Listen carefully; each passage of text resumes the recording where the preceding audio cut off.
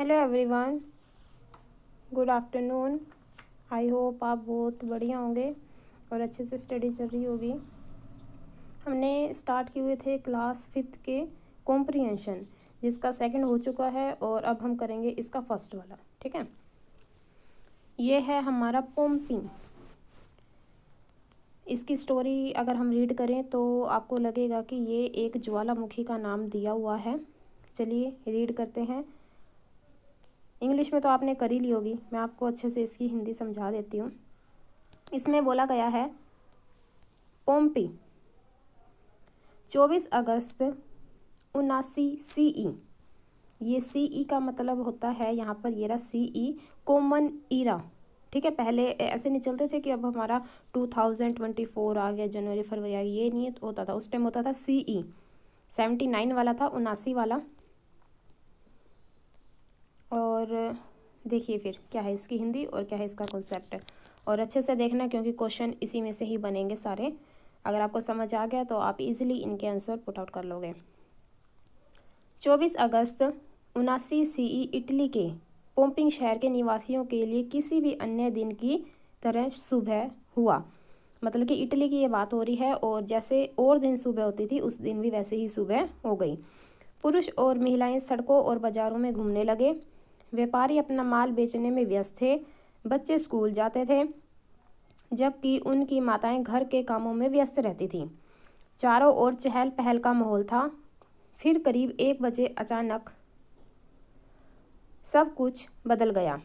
एक गगन भेदी मतलब गगन होता है आकाश आकाश को भेदता हुआ विस्फोट ने सभी को सकते में डाल दिया। शहर के निकट एक ज्वालामुखी माउंट वेसुवियन फट गया था। पिछली कई शताब्दियों से बना हुआ मैग्मा, जो सा मैग्मा धरती के नीचे बनता है ना, बहुत ज़्यादा गर्म होता है, लावा होता है, उसको बोला जाता है। अपने खड्डे से फूट गया, जिससे पिंगली हुई जो सी चट्टान और गर्म राख का ज़बरदस्त उछाल हवा में फैल गया। विस्फोट की तीव्रता इतनी थी कि निकली जो सी सामग्री थी आसमान में तैतीस किलोमीटर तक ऊपर उठ गई थी। मतलब कि उसके अंदर से जितनी भी, ये देखो ये गर्म मैग्मा निकलता है, वो आकाश की तरफ़ गगन को भेदता हुआ भेदता हुआ तैतीस किलोमीटर ऊपर तक गया। तो सोचो, जो नीचे रहते थे, उनका क्या हाल हुआ होगा? एक गर्म पानी से ही हमारा बुरा हाल हो जाता है और जलता हुआ, बिल्कुल गर्म मैग्मा हमारे ऊपर आ जाए तो क्या होगा?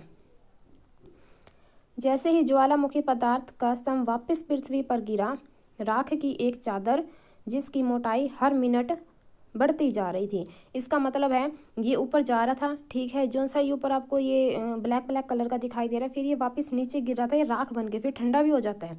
धरती के अंदर था वो गर्म, लेकिन बाहर आने के बाद क्या हो गया, वो ठंडा हो गया, और फिर ऊपर ये फट गया, और एकदम जब धरती पे गिरता है ना तो ये राख होती है सारी की सारी, लेकिन अब इतना ज़्यादा था तो ये राख भी क्या हो जाएगी, पूरी की पूरी इनको कवर कर जाएगी, भर देगी सब कुछ। शहर के ऊपर जमा हो गई और इसके संचित भार से इमारतें ढह गई। मतलब कि राख इतनी ज़्यादा थी और इतनी भारी थी, जितनी भी इमारतें बनी हुई थी, ढहती गई। लोग खुद को, अपने प्रियजनों को बचाने के लिए आपस में भिड़ गए। क्यों? अपने अपने इंसानों को मतलब कि खोजने लगे, ढूँढने लगे, बचाने के लिए भागने लगे। अब तक स्थिति की गंभीरता को समझते हुए वे शहर से भागने लगे और या जहाँ भी संभव हो शरण की तलाश करने लगे। जहाँ भी उनको सुटेबल लगा, वहाँ पर फिक्स होने लग गए। हालाँकि, विस्फोट अभी तक पूरी तरह से अपना काम नहीं कर पाया था। उस रात बाद में ज्वालामुखी से अत्यंत गर्म, जहरीली गैसे के बादल बनने लगे। मतलब कि अभी तक वो शांत नहीं हुआ था।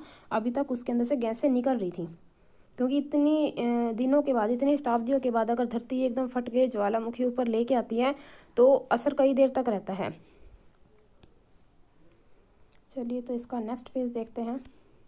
इंग्लिश में आप देख लेना, हिंदी में मैंने करवा दिया है, और नेक्स्ट पेज और ये क्वेश्चन आंसर भी हैं। चलिए देखो।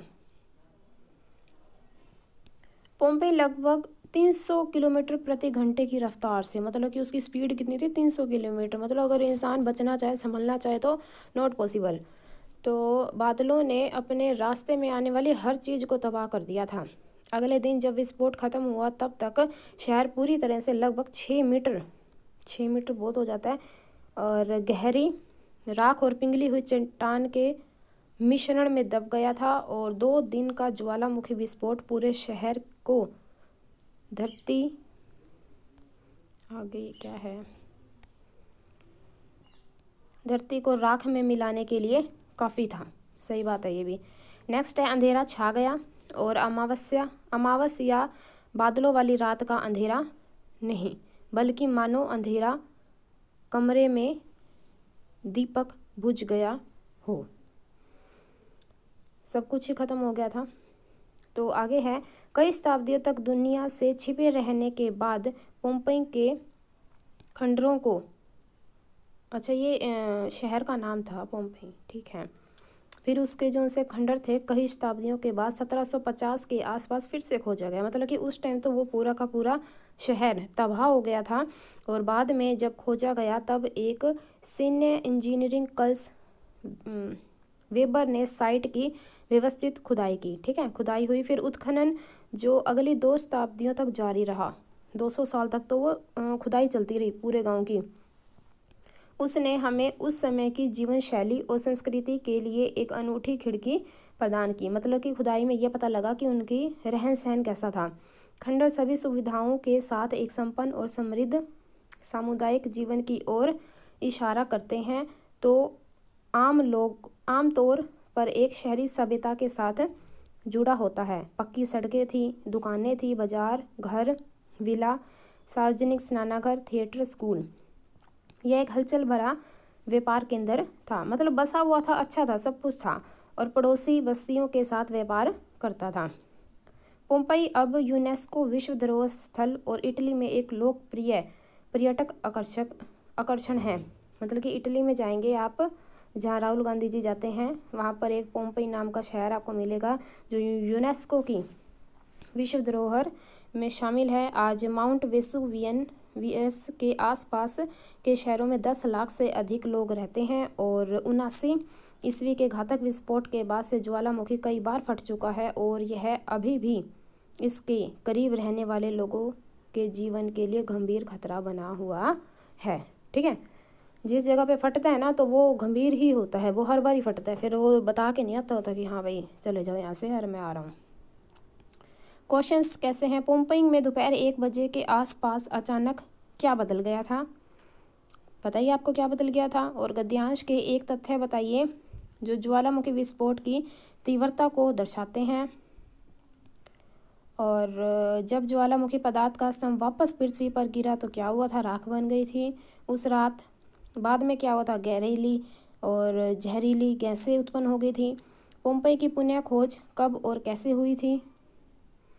ये एक सैन्य इंजीनियर ने की थी। तो ये सारे के सारे आंसवर्स आपको मिलेंगे व्हाट्सएप पर। नंबर है नब्बे, पचास, चार सौ सोलह, तीन सौ सोलह। वैल्यूएबल प्राइस पर आपको इसके आंसर सभी के मिल जाएँगे, क्योंकि इसके आंसर इतने लेंथी है और इसके अंदर से टिक नहीं कर सकते। मैं, नहीं तो मैं निशान लगा देती। वो लिखने पड़ते बहुत बड़े बड़े हैं तो इसीलिए मैंने सोचा कि मैं आपको व्हाट्सएप पर ही दे दूँगी। लेकिन एक का मैंने दिया है, ये देखो ये रहा। बी पार्ट का। इसके अंदर है find words from the passage for this group of word first है विज़िट अ प्लेस ओफन बार बार किसी जगह पर जाना, वो क्या होता है? फ्रिक्वेंसी कह लो फ्रिक्वेंटेड कह लो। Selling small goods by going from place to place. ये कह रहा है कि जगह जगह पर घूम फिर कर बेचना किसी चीज़ को तो वो क्या होता है? पैडलिंग। पैदल जैसे कि बत्थक नहीं होते, वो पानी में करते रहते हैं। थर्ड है, स्टेट ऑफ़ नर्वस एक्साइटमेंट और कन्फ्यूज़न। कन्फ्यूज़न भी है, एक्साइटमेंट भी है तो वो हो जाएगा tizzy T I double Z Y fourth है हॉट लिक्विड हॉट लिक्विड है rock found just below the surface of the earth धरती में से निकला वो क्या होता है मैगमा। अभी अपने पढ़ाई था। फिफ्थ है the round hole at the top of volcano ये क्रिएटर क्राउडेड टुगेदर हडल्ड और सीरियस सिचुएशन को क्या कहेंगे? Seriousness of a situation gravity और पॉइजन पॉइजन होता है जहर। वो क्या हो जाएगा? टॉक्सिक जैसे टॉक्सिक खाना भी होता है टॉक्सिक लोग भी होते हैं तो छोड़ देना चाहिए ऐसे को। नाइन्थ है, causing a lot of distraction ये हो जाएगी डिजास्टर जो आपदा आई थी अभी। टेंथ है successful and doing very well ये प्रोस्पेरिटी इलेवेंथ हो जाएगा facility that make life more pleasant और कंफर्टेबल फॉर पीपल एमिटीज़ और लास्ट हो जाएगा full of busy activities bustling ठीक है? तो now end of our fifth class means all worksheet and chapters and comprehension I mean everything about class fifth हो गया हमारा डन तो थैंक यू इतना आपने साथ दिया, मेरी वीडियो को देखा, सराहा और कमेंट किए लाइक किए शेयर किए बहुत बहुत आपका उसके लिए आभार है. धन्यवाद उसके लिए और आगे आप बताएँगे कि मुझे सिक्स का स्टार्ट करना है या फिर एट्थ का स्टार्ट करना है या नहीं करना है. ठीक है? और रहे बाकी इसके क्वेश्चंस की बात. तो ये सारे के सारे क्वेश्चंस आपको मिलेंगे. नब्बे पचास, चार सौ सोलह, तीन सौ सोलह। इसके ऊपर आपको क्या करना है? एक मैसेज कर देना। ठीक है? उसके ऊपर आपको वैल्यूएबल प्राइस पर मिल जाएगा। कोई दिक्कत वाली बात नहीं है। आप लेना चाहो तो ले लो।